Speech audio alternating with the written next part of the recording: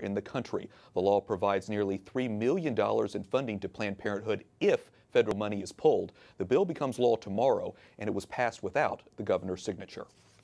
A watchdog group says taxpayers are funding animal tests for homemade abortions. Our next guest analyzed the government data.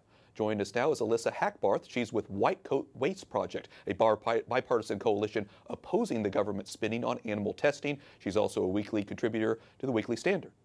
Alyssa, your group reports uh, the National Toxicology Program is engaged, or at least plans to be engaged, in animal testing using herbs to induce abortions. Besides how disturbing this is to a lot of people, why is the government conducting these tests? They want to prove that the amount of herbs that these mice are ingesting equals the same amount of what a woman would take to prove they want to kill these mice in order to see how much it would take to kill a woman.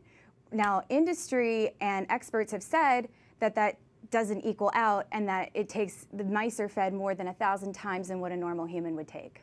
Yeah, like I said, it can be pretty disturbing when you think about this on a large scale here. These herbs are available over the counter. You can buy them on the internet. Uh, it, another disturbing part is that it makes it easy for homemade abortions, unfortunately. What have you learned about the dangers these herbs can do to women? They provide, so when a woman takes multiple doses of these herbs, they can do impartial abortion. So parts of the fetus can still be stuck in the woman.